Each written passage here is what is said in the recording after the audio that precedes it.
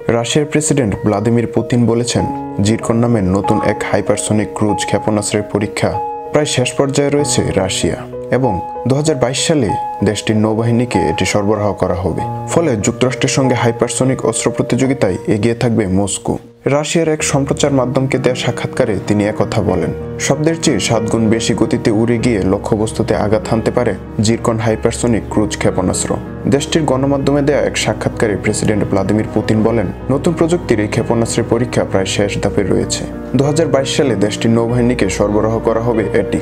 এতে মার্কিন নেতৃত্বাধীন সামরিক জোট, ন্যাটোর সঙ্গে রাশিয়ার সামরিক ভারসাম্য বজায় থাকবে বলেও মন্তব্য করেন তিনি। সাক্ষাৎকারে পুতিন আরও বলেন, নতুন হাইপারসনিক ক্ষেপণাস্ত্র, উচ্চ ক্ষমতাসম্পন্ন লেজার ও রোবট সিস্টেম গড়ে তোলার জন্য প্রযুক্তির উদ্ভাবন ও বাস্তবায়ন এখন সবচেয়ে জরুরি, যা সম্ভাব্য সামরিক হুমকি কার্যকরভাবে মোকাবেলা করতে সক্ষম হবে। পাশাপাশি দেশটির নিরাপত্তা ব্যবস্থাকে আরও শক্তিশালী করবে। পুতিন বলেন, রাশিয়ার তৈরি জিরকন হাইপারসনিক ক্ষেপণাস্ত্রের পরীক্ষা প্রায় শেষ পর্যায়ে রয়েছে। আগামী বছর সেনাবাহিনীকে সরবরাহ করা হলে তা আমাদের প্রতিরক্ষা ব্যবস্থাকে শক্তিশালী করবে। গতি ও উচ্চতার কারণে এগুলোকে শনাক্ত করা বা ধ্বংস করা কঠিন বলেও জানায় মস্কো।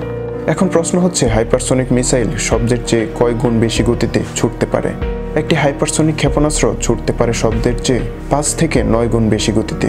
এটা থেকে ধারণা পাওয়া যায় যে এই মিসাইল কত দ্রুত ছুটতে পারে এবং এর মোকাবেলা করা কত কঠিন। বর্তমান বিশ্বে অন্তত আটটি দেশ এখন হাইপারসনিক ক্ষেপণাস্ত্র তৈরির প্রযুক্তি নিয়ে কাজ করছে। হাইপারসনিক ক্ষেপণাস্ত্রের অধিকারী হওয়ার জন্য কেমন প্রতিযোগিতা চলছে তা বোঝা যায় সাম্প্রতিক কিছু খবর থেকে। সম্প্রতি লন্ডন থেকে প্রকাশিত অর্থনীতি বিষয়ক প্রভাবশালী সংবাদপত্র ফিনান্সিয়াল টাইমসের এক রিপোর্ট বিশ্বে চাঞ্চল্য সৃষ্টি করেছে। এতে বলা হয়, গত অগাস্ট মাসে চীন সবচেয়ে চেয়ে পাঁচ গুণ দ্রুতগতি সম্পূর্ণ এবং পারমাণবিক অস্ত্র বহনে সক্ষম একটি ক্ষেপণাস্ত্র পরীক্ষা করেছে। যুক্তরাষ্ট্র এতে উদ্বেগ প্রকাশ করে, যদিও চীন দাবি করেছে যে এটা ছিল পূর্ণ ব্যবহারযোগ্য একটি মহাকাশযান, ক্ষেপণাস্ত্র নয়। এর মাত্র কিছুদিন আগে অক্টোবরের চার তারিখে রাশিয়া তাদের পারমাণবিক সাবমেরিন থেকে একটি হাইপারসনিক ক্ষেপণাস্ত্র নিক্ষেপ করে, তা সফলভাবে লক্ষ্যবস্তুতে আঘাত করে। ব্যারেন্টস সমুদ্রে সাবমেরিন থেকে জিরকন নামের দুটি ক্ষেপণাস্ত্রের এই পরীক্ষা চালানো হয়।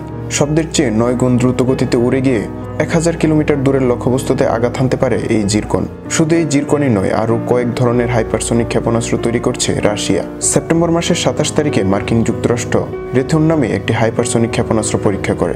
এটি ছিল শব্দের চেয়ে পাঁচ গুণ দ্রুতগতি সম্পূর্ণ দু হাজার তেরো সালের পর এই স্তরের কোনো সমরাস্ত্রের সফল পরীক্ষা মার্কিন যুক্তরাষ্ট্র এই প্রথম চালিয়েছিল। অন্যদিকে উত্তর কোরিয়া গত কিছুদিন ধরে একের পর এক ক্ষেপণাস্ত্র পরীক্ষা চালিয়ে যাচ্ছে। কিছুদিন আগেই তারা একটি হাইপারসনিক ক্ষেপণাস্ত্র পরীক্ষা করেছে। যদিও দক্ষিণ কোরিয়ার সূত্রগুলো বলছে ওই পরীক্ষা সফল হয়নি। সামরিক বিশেষজ্ঞরা বলছেন, হাইপারসনিক ক্ষেপণাস্ত্র হতে যাচ্ছে অন্তমহাদেশীয় যুদ্ধের এক মূর্বদলকারী সংযোজন। নিউ ইয়র্ক টাইমের এক বিশ্লেষণী প্রতিবেদনে উইলিয়াম ব্রড লিখেছেন, এই মিসাইলগুলো প্রতি সেকেন্ডে পাঁচ মাইল পর্যন্ত গতিতে ছুটতে পারে এবং উপগ্রহ থেকে আসা সতর্ক সংকেতকে বোকা বানাতে পারবে। তাই আকস্মিক আক্রমণের জন্য এগুলো খুবই উপযোগী। রয়টার্সের এক বিশ্লেষক বলেন, বায়ুমণ্ডলের উপরের স্তরে ঘন্টায় তিন হাজার আটশো পঞ্চাশ মাইল গতিতে ছুটতে পারে এই হাইপারসনিক মিসাইল। একটি ইন্টারকন্টিনেন্টাল ব্যালিস্টিক মিসাইল বা আইসিবিএম এর চেয়ে দ্রুত গতিতে চলে। কিন্তু হাইপারসনিক মিসাইলের আকৃতি ভিন্ন ধরনের হওয়ায় এটিকে আঁকাবাঁকা পথে চালানো যায়। এই মিসাইলগুলো ব্যালিস্টিক ক্ষেপণাস্ত্রের মতো নির্দিষ্ট বৃত্তাকার গতিতে চলে না। তার পক্ষে প্রতিরক্ষা বাহুকে এড়িয়ে একে বেঁকে চলা সম্ভব এবং এগুলোকে ট্রেকিং বা চিহ্নিত করাও কঠিন। ওই বিশ্লেষক আরও বলেন, সাধারণ ক্ষেপণাস্ত্র এবং গ্লাইড বিকেহেল বা ইঞ্জিনবিহীন বিমানের সমন্বয় ঘটিয়ে এমনভাবে এই হাইপারসনিক মিসাইল তৈরি করা হয়েছে যাতে এটা নিক্ষেপের পর মহাশূন্যে উঠে আকস্মিকভাবে পৃথিবীর কক্ষপথে পৌঁছে যেতে পারবে। সাধারণ আইসিবিএম ক্ষেপণাস্ত্র উৎক্ষেপণের পর মহাশূন্যে উঠতে পারে, কিন্তু কক্ষপথে পৌঁছতে পারে না। ব্রিটিশ আমেরিকা সিকিউরিটি ইনফরমেশন কাউন্সিলের নির্বাহী পরিচালক পল ইংগ্রাম বিবিসিকে বলেছেন প্রচলিত মিসাইলগুলো ছোড়া হয় রকেটের মতো। ফলে উৎক্ষেপণ করার পর এর ট্রেজেক্টরি বা গতিপথ কি হবে তা মোটামুটি অনুমান করা যায়। লক্ষ্যবস্তুতে আঘাত হানার আগেই প্রতিপক্ষ তখন তাদের ক্ষেপণাস্ত্র প্রতিরক্ষা ব্যবস্থা দিয়ে এটিকে ধ্বংস করতে পারে। কিন্তু হাইপারসনিক মিসাইল প্রযুক্তি একেবারেই ভিন্ন। এটি উৎক্ষেপণের পর খুব দ্রুত উপরে উঠে আবার নেমে আসে অনুভূমিকভাবে বায়ুমণ্ডলের মধ্যেই চলতে থাকে। গতিপথও পরিবর্তন করতে পারে। তার মানে এটি কোন দিকে যাবে তা আগে থেকে অনুমান করা সম্ভব নয়। তাই তা মাঝপথে ধ্বংস করা প্রায় অসম্ভব। তবে এই হাইপারসনিক প্রযুক্তিতে কে এগিয়ে? এই প্রশ্ন এখন হতেই পারে। জুলাই মাসে রাশিয়া প্রথমবারের মতো সাবমেরিন থেকে ছুরা জিরকন পরীক্ষা করে। অন্যদিকে যুক্তরাষ্ট্র সেপ্টেম্বর মাসে যে ক্ষেপণাস্ত্র পরীক্ষা করে, তা ছিল আরও একটু ভিন্ন ধরনের। এটি ছিল এয়ার ব্রিদিং হাইপারসোনিক ওয়েপন, যা উৎক্ষেপণের পর একটা ইঞ্জিন চালিত ক্রুজ মিসাইলের মতোই বায়ুমণ্ডলের মধ্য দিয়ে উড়ে গিয়ে তার লক্ষ্যবস্তুতে আঘাত হানতে পারে। অন্যদিকে ফিনান্সিয়াল টাইমসের রিপোর্টে বলা হয়, চীন যা উৎক্ষেপণ করেছিল তা হচ্ছে একটি রকেট এবং তার সাথে সংযুক্ত হাইপারসোনিক গ্লাইড বিকেহেল বা ইঞ্জিনবিহীন উড়ন্ত যান। এটি মহাশূন্যের ভেতর দিয়ে উড়ে পৃথিবী প্রদক্ষিণ করে, তারপর মাটিতে থাকা লক্ষ্যবস্তুর চব্বিশ মাইল দূরে এসে পড়ে। চীন যেভাবে তার ক্রমবর্ধমান সামরিক ক্ষমতা প্রদর্শন করছে, তা বিশেষভাবে যুক্তরাষ্ট্রের জন্য উদ্বেগের বিষয় হয়ে উঠেছে। গত মাসে যুক্তরাষ্ট্রের বিমান বাহিনী বিষয়ক মন্ত্রী ফ্লাক ক্যান্ডাল বলেছিলেন, চীন এক নতুন অস্ত্র তৈরি করেছে এবং মহাশূন্য থেকে সারা বিশ্বে আঘাত হানতে পারে এমন অস্ত্র তৈরির ক্ষেত্রে বিপুল অগ্রগতি অর্জন করেছে চীন।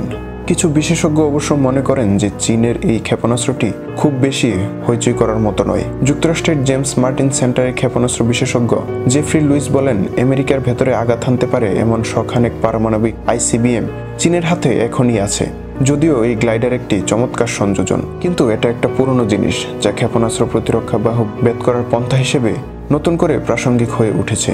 দু হাজার উনিশ সালে রাশিয়া যখন অবনগার্ড নামে অত্যাধুনিক হাইপারসনিক ক্ষেপণাস্ত্র মোতায়েন করেছিল, তখন প্রেসিডেন্ট ভ্লাদিমির পুতিন দাবি করেছিলেন যে পারমাণবিক অস্ত্র বহনে সক্ষম এই মিসাইলগুলো সবচেয়ে চেয়ে বিশ গুণ বেশি গতিতে ছুটতে পারবে এবং এটা রাশিয়াকে অন্যান্য দেশের চেয়ে সামনে এগিয়ে নিয়েছে। কিন্তু তখনও অন্য অস্ত্র বিশেষজ্ঞরা এটির কার্যকারিতা নিয়ে সংশয় প্রকাশ করেছিলেন।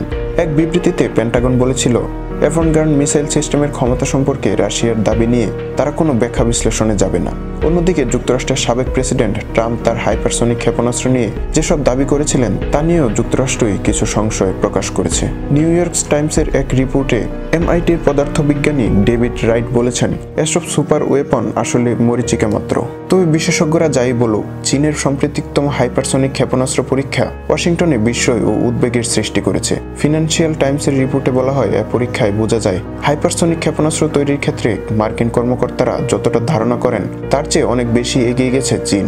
মার্কিন কংগ্রেসের একজন সিনিয়র সদস্য বলেন, চীন হাইপারসনিক ক্ষেপণাস্ত্রের পরীক্ষা করে থাকলে তা আমেরিকার জন্য সতর্ক সংকেত। সশস্ত্র বাহিনী সম্পর্কিত কংগ্রেস কমিটির রিপাবলিকান সদস্য মাইক গেলাহার সতর্ক করে দিয়ে বলেন, ওয়াশিংটন যদি ক্ষেপণাস্ত্র প্রতিরক্ষার ক্ষেত্রে তার বর্তমান দৃষ্টিভঙ্গিতেই আটকে থাকে, তাহলে চীনের সাথে নতুন স্নায়ুযুদ্ধ যুক্তরাষ্ট্র এক দশকের মধ্যেই হেরে যাবে। নিরস্ত্রীকরণ সংক্রান্ত মার্কিন দূত রবার্ট উড বলেছেন, যুক্তরাষ্ট্র অত্যন্ত উদ্বিগ্ন এবং ওয়াশিংটন এই প্রযুক্তিকে সামরিক ক্ষেত্রে ব্যবহারের ব্যাপারে অনেকদিন সক্রিয় হয়নি। তিনি বলেন, চীন এবং রাশিয়া অত্যন্ত সক্রিয়ভাবে হাইপারসনিক প্রযুক্তির সামরিক প্রয়োগ নিয়ে কাজ করছে এবং এর অর্থ হলো যুক্তরাষ্ট্রকে কথায় নয়, কাজে এর জবাব দিতে হবে। জেনেভার রিপোর্টারদের মিস্টার উড আরও বলেন, আমরা জানি না কীভাবে এ প্রযুক্তি থেকে আমরা আত্মরক্ষা করতে পারব। এমনকি চীন বা রাশিয়াও জানে না। ফলে বিশেষজ্ঞদের ধারণা আধুনিকতম ক্ষেপণাস্ত্রের ক্ষেত্রে শ্রেষ্ঠত্ব অর্জনের জন্য প্রখর সামরিক শক্তিগুলোর মধ্যে একটা প্রতিযোগিতা এখন তীব্রতর হয়ে উঠেছে।